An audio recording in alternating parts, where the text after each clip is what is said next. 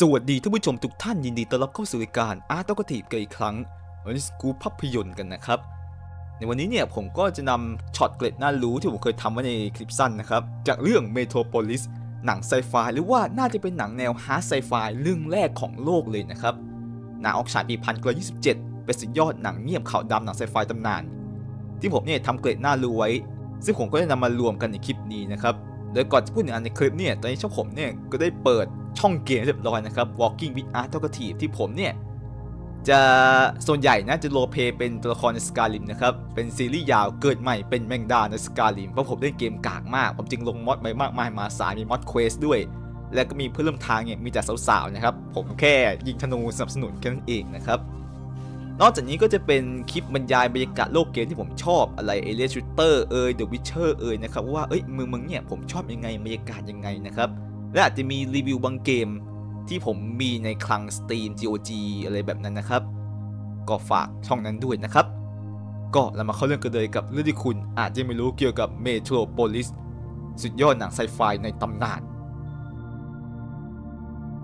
รู้หรือไม่หนังไซไฟเยอรมันคลาสสิก Metropolis ปี 1927 ของฟิสแลงเนี่ย เขาเป็นผู้กำกับชาวยิวนะครับ แต่หนังนี้เนี่ย ตัวผู้นำนาซีอย่างอดอล์ฟฮิตเลอร์นั้น ชอบหนังอันนี้มากๆ ถึงขนาดให้มือขวาเขาเนี่ยโจเซฟ เกิบเบลส์เนี่ยไปติดต่อฟริตซ์ แลงเพื่อมาพบนะครับ โดยตัวเกิบเบลส์เนี่ยไปพบกับแลงและยื่นข้อเสนอว่าเขาจะแต่งตั้งให้ฟริตซ์ แลงเนี่ยเป็นอารยันกิตติมศักดิ์นะครับหลายคนก็ดูโปรสารนะว่าตอนนั้นฮิตเลอร์มีเป้าหมายจะทำอะไรกับชาวยิวนะครับ ซึ่งฟริตซ์ แลงตอนแรกแกก็กังวลเนี่ยเพราะเขาเป็นชาวยิว แต่เกิบเบลส์บอกทิ้งท้ายไปว่าคุณแลงเราจะตัดสินใจเองว่าใครเป็นยิวและใครไม่ใช่ เท่านั้นแหละครับ ในคืนวันเดียวกันฟิสแลงหนีออกนอกประเทศไปยังปารีสทันที รู้หรือไม่ หนังไซไฟเยอรมันคลาสสิกเมโทรโพลิสปี 1927 เนี่ย เป็นหนังที่มีงานสร้างอลังการงานสร้างมาก โดยเฉพาะเหล่า extra ตัวประกอบที่มีมากกว่าหมื่นคน นอกจากตัวผู้ใหญ่ extra เนี่ย ก็มีเด็กด้วยนะครับ มีเด็กจำนวน 500 คนด้วยกัน ที่มาเป็นตัวประกอบในหนังเรื่องนี้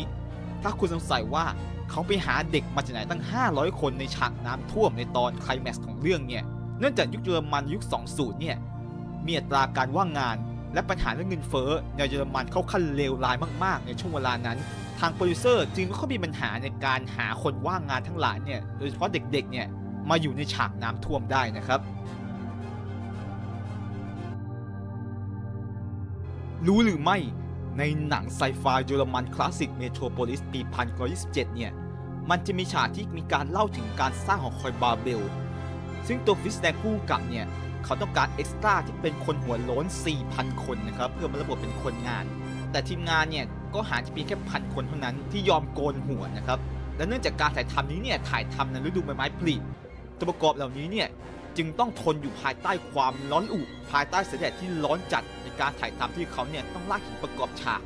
แล้วก็ต้นไม้ของจริง ๆ นะครับ บางคนถึงกับมีอาการไหม้เกรียมบนหนังศีรษะ จากการถ่ายทำเป็นเวลานาน ซึ่งในวิสัยทัศน์ผู้กำกับเนี่ยเขาต้องการให้ตัวประกอบมี 4,000 คนจริงๆ จึงใช้ทริคในการซ้อนภาพ เพื่อให้เอ็กซ์ตร้าพันคนเนี่ยดูเหมือนเป็น 4,000 คนนั่นเองนะครับ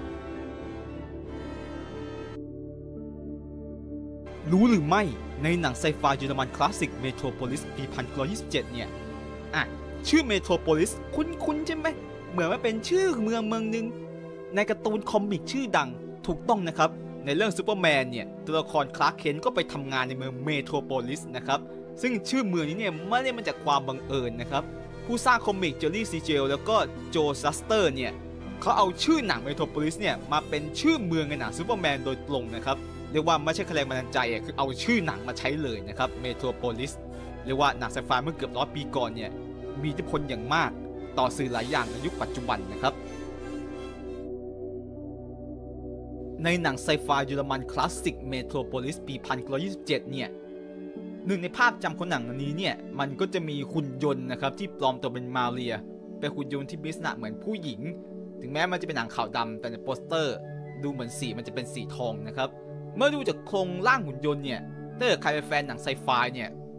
ก็จะรู้สึกว่าหุ่นยนต์ตัวนี้เนี่ยรูปร่างมันเหมือนเคยเห็นในหนังไซไฟเรื่องอื่นมาก่อนนะครับ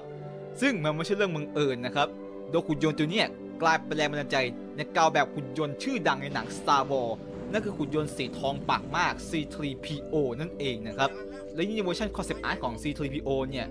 เรียกว่าโคตรเหมือนของเมโทรโพลิสเลยนะครับเรียกว่าจากหุ่นยนต์ยุคหนังเงียบ กลายเป็นแรงบันดาลใจให้กับตัวละครในหนัง iconic ตลอดกาลนั่นเองนะครับ Star Wars รู้หรือไม่ หนังไซไฟเยอรมันคลาสสิก Metropolis ปี 1927 เนี่ย นับว่าเป็นหนังที่ทุนสร้างมหาศาลมาก ๆ แม้แต่ยุค 20 นะครับ โดยงบประมาณเนี่ย อยู่ที่ 5 ล้านไรชส์มาร์กเหมือนเป็นค่าเงินเยอรมันในยุคนั้นนะเนาะ ซึ่งเมื่อแปลงค่าเงินในช่วงปี 2007 ช่วงที่หนังเมโทรโพลิสถูกบูรณะเนี่ย ก็จะแปลงเป็นทุนสร้างเป็นดอลลาร์ในยุคปัจจุบันได้ถึง 200 ล้านดอลลาร์นะครับ อะในยุคปัจจุบันเนี่ย โอ้โห หนังมาร์เวลเนี่ย มันเกิน 203ดอลลาร์แล้วเนาะ แต่ 200 ล้านมันก็ยังเป็นหนังทุนยักษ์อยู่ดีสำหรับหนังยุค 20 นะครับ ซึ่งทุนแพงขนาดนี้แน่นอนว่าหนังเจ๊งนะครับ ทุนแพงเกินไปและได้ไม่คุ้มนะครับ รู้หรือไม่ในหนังไซไฟเยอรมันคลาสสิกเมโทรโพลิสปี 1927 เนี่ย มันจะมีฉากไคลแม็กซ์ตอนท้ายๆนะครับ ที่มันเป็นฉากน้ำท่วมในเมืองใต้ดินนะครับ แล้วเราจะเห็นว่านักแสดงส่วนใหญ่เนี่ยเป็นเด็กกันเนาะซึ่งในเบื้องหลังเนี่ยฉากเนี่ยใช้เวลาถ่ายทำถึง 3 สัปดาห์ด้วยกัน เพราะตัวผู้กำกับฟิชแลงเนี่ยต้องการถ่ายทำให้มันดูเป๊ะแล้วก็ perfect ที่สุดนะครับ แต่การถ่ายทำที่มีน้ำเยอะขนาดนี้เนี่ยมันส่งผลต่อสุขภาพนักแสดง เนื่องจากอุณหภูมิที่ลดลงเนี่ยอาจจะเกิดการ hypothermia ได้แถมนักแสดงส่วนใหญ่ก็เป็นเด็กด้วยนะครับ ซึ่งก็ยังดีจากที่หาข้อมูลมาเหมือนจะไม่มีใครเสียชีวิตจากการถ่ายทำเมโทรโพลิสนะครับ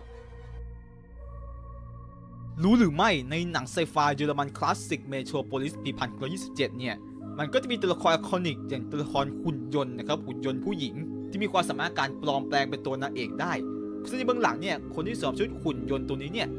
ก็คือนักแสดงที่เล่นเป็นนางเอกของเรื่องนะครับคนละตัวกันนะ แต่ก็ให้เธอเนี่ยมาสวมชุดหุ่นยนต์ด้วยนะครับซึ่งตัวนักแสดงบอกเลยว่าตอนสวมชุดหุ่นเนี่ยมันไม่สะดวกเลยนะครับคือคุณเพราะตัวชุดเนี่ยมันดูอึดอัดอย่างมากนะครับตัวนักแสดงเนี่ยแล้วความทุกข์ทรมานอย่างมาก เพราะเมื่อสวมทุกครั้งเนี่ยมันทำให้ร่างกายเนี่ยมีรอยฟกช้ำมีบาดแผลด้วย แต่ผู้กำกับฟิสแลงก็ยืนยันชัดเจนว่าเธอต้องสวมนะครับก็สงสารนักแสดงอะเนาะ ในฉากไคลแม็กซ์ของหนังเยอรมันไซไฟคลาสสิกเมโทรโพลิสปี1927 เนี่ย มันจะเป็นฉากที่ตัวนางเอกเนี่ยหนีจากการไล่ล่าของตัวร้ายเข้าไปยังโบสถ์แล้วขึ้นบันไดไปบนหลังคานะครับ มันจะมีฉากภาพจำก็คือตัวนางเอกเนี่ยกระโดดไปห้อยกับเชือกระฆังของตัวโบสถ์ซึ่งในเบื้องหลังเราเห็นว่าไม่มีสลิงและไม่ใช้ตัวแสดงแทน นั่นคือนักแสดงนะครับ ตัวบิจิตเฮลเนี่ยกระโดดไปเกาะกับเชือกของระฆังจริง ๆ นะครับ แน่นอนว่าในเบื้องหลังเนี่ยนอกจอเนี่ยเขาก็มีตัวที่นอนเนี่ยรองไปข้างล่างกันตกเอาไว้แล้ว แต่ความสูงระดับมันเนี่ยก็ยังเป็นอันตรายกับนักแสดงหญิงได้ โดยมีอยู่เทคเนี่ยที่เธอลองจับก่อนนะครับซึ่งเกิดใครเคยแบบไต่เชือกแล้วห้อยลงมาเนี่ยการที่มือเปล่าๆเนี่ยถ่ายตัวเชือกลงพื้นเนี่ยมันทำให้มือเนี่ยได้รับบาดเจ็บนะครับซึ่งนักแสดงก็ไม่ต่างกันนะครับ เธอนี่ก็สะบักสะบอมและก็ออกมาจากกองถ่ายทั้งน้ำตาเลยนะครับ รู้หรือไม่ในหนังไซไฟเยอรมันคลาสสิกเมโทรโพลิสปี 1927 เนี่ย มันจะมีฉากภาพจำผมชอบมากนั่นคือฉากพรรณนาถึงฝันร้ายของพระเอก ที่เห็นการทำงานของคนงานเปรียบดังนรก หรือว่าโมลล็อก ซึ่งเราจะเห็นว่าฉากเนี่ย มันซ้อนภาพระหว่างคนงาน กับตัวโมลล็อกฉากนรกที่ว่านะครับ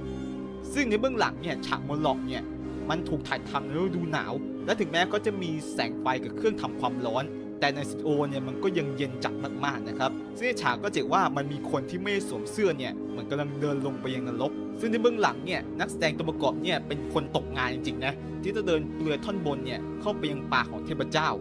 ซึ่งตัวฟิสแดงผู้กำกับเนี่ยใช้เวลาหลายวันมากในการถ่ายทำ sequence นี้ ซึ่งตัวผู้ช่วยผู้กำกับเนี่ยเขาก็กลัวว่าตัวนักแสดง extra เนี่ยจะประท้วงขึ้นมานะครับ เพราะว่าโดนทรมานจากการถ่ายทำเนาะจนในที่สุดโปรดิวเซอร์อีลิชพอมเมอร์เนี่ย จึงได้มากองถ่ายและแจ้งผู้กำกับว่า เรามี footage ถ่ายเกินพอแล้ว รู้หรือไม่ในหนังไซไฟคลาสสิกของเยอรมันเมโทรโพลิสปี1927 เนี่ย ตอนแรกตัวผู้กำกับฟิสแลงเนี่ย เขามีตัวเลือกนักแสดงหลายคนที่จะมารับบทเป็นเฟรเดอร์พระเอกของเรื่อง แต่แล้วก็ตามในช่วงการถ่ายทำวันแรกๆ เนี่ยตัวภรรยาของฟิสแลงเทียวอนฮาร์บอร์ซึ่งเป็นคนเขียนบทด้วย เธอสังเกตเห็นนักแสดงคนหนึ่งกูสตาฟโฟลิชนะครับ เขามารับบทเป็นตัวประกอบในเมโทรโพลิส และบทเป็นคนงานเลย